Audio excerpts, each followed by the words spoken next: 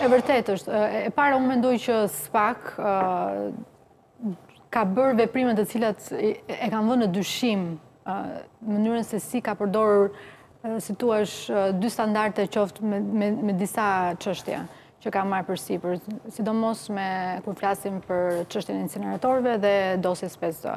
Dhe fakti që nuk ka vepruar në kohë tregon që ka një lloj tentative ndërhyrje. Pra, mhm. nuk është lajm për shqiptarët për të për t'u thënë atyre që gjatë gjithë kohës ka patur, domethënë qeveria e sotshme, mazhoranca ka tentuar në mënyra të ndryshme për të kapur drejtësinë, apo në këtë rast edhe spak, dhe ndërhyrja e tyre ndoshta mund të ketë kapur një ose dy persona brenda këtij institucioni, por mendoj që mbështetja e Shteteve të Bashkuara të Amerikës dhe drejtësia e re, pra edhe disa nga vendimet që spak ka marrë, pra burgosja e disa politikanëve të lartë, funksionarëve të lartë të mazhorancës, që tregon hapur pra korrupsionin në këtë vend, plagën e madhe që po tenton ta shërojë, pra ka ka një loj rezultati në këtë drejtim. Ndaj, unë mendoj që Nëse spak do jetë në lartësinë e duhur, sepse është S'e ka treguar akoma një organ, që nuk është... I vetmi organ që tani po funksionon në interes të në interesin publik.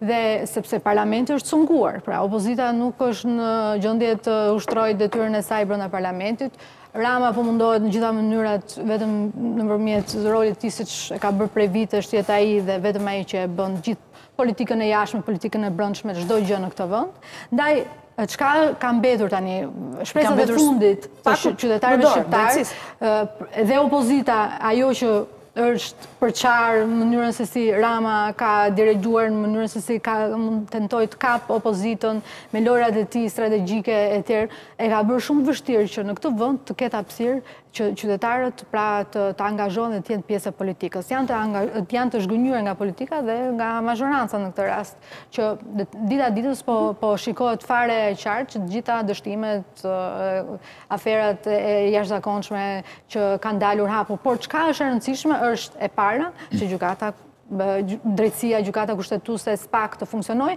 dhe opozita të bëhet pra sa më e fortë dhe sa më shpresëdhënëse për qytetarët, sepse është momenti koha ku ne mund të bëjmë një kthesë të jashtëzakonshme dhe i kemi të gjitha premisat për ta bërë këtë gjë. Okej, Reldar, ke një koment të fundit për apo të kalojmë në reklama?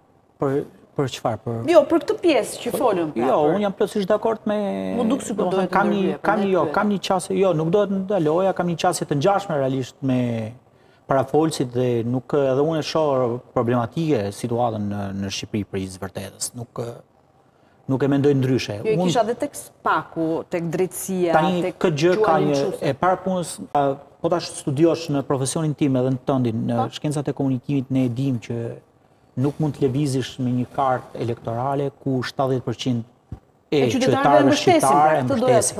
Do të sulmosh diçka që shtatëdhjetë për qind e duan. Po e duan. Pra, edhe elektoralisht, edhe elektoralisht nuk nuk është kartë kjo. Megjithatë, në qoftë se raport retorika, retorika e Partisë Demokratike kundrejt drejtësisë së re dhe institucioneve të drejtësisë së re në këtë moment që flasim është e gabuar. jo se nuk kanë të drejtë në disa aspekte për hir të së vërtetës okay. opozita. Por në përgjithësi thua nuk është karë, për sa koka është e gabuar, është e gabuar dhe çfarë e tjetërson, e tjetërson edhe të drejtën.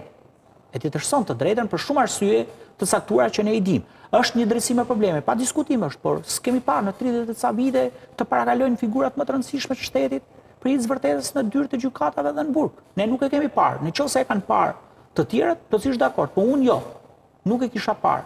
Dhe e mbaj mend shumë mirë, të paktën që nga 92-shi duke përjashtuar ato arrestimet që u bënë atëherë. Ardit një fjalë se do të shkojmë në reklamë. Të vetëm diçka të shkurtër përpara se të shkojmë në reklama, unë mendoj këtë gjë Erla, që nëse opozita, Partia Demokratike sot nuk arrin dot të shohë që kjo drejtësi me të mirat dhe të këqijat e saj, se tani pretendojmë perfeksion, do ishte absurditet, sepse në Shqipëri jemi dhe është po. derivati i kësaj shoqërie me të mirat dhe të këqijat e saj. Por nëse nuk arrin të shohë të gjithë asistet, meqenëse jemi në kohë Europiani, gjithë asistet që kjo drejtësi po i ofron opozitës, mendoj se është miope, do rendis vetëm disa.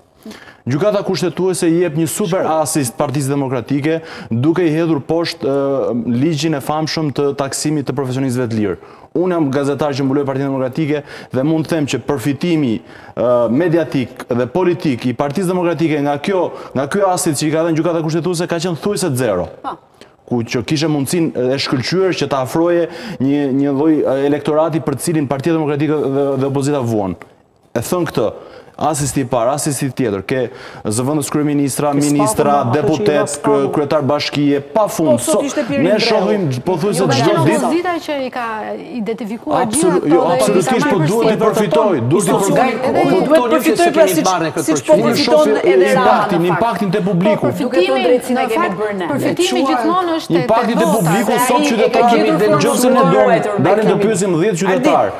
Dhe do i themi ata që kanë përfituar nga heqja e taksës... Po kemi denoncuar me dhjetëra herë. Tani, unë duhet ta ndërpres po debatin. Po kredon politike nuk e keni marrë në maksimum, aq sa mund ta kishit marrë. Po, që do duhet ta merrni. Siç po përpiqet Rama ta marrë, shpesh e kemi analizuar në këtë studio, që po tenton ta kthejë në favor këtë që në fakt po ndodh me SPAK-un. Duke thënë kemi bërë ne drejtësinë, pastrojmë dhe radhët tona, e tjerë. Mirë, shkojmë në reklama, në pjesën e dytë rikthehemi tek protesta e opozitës ditën e nesërme.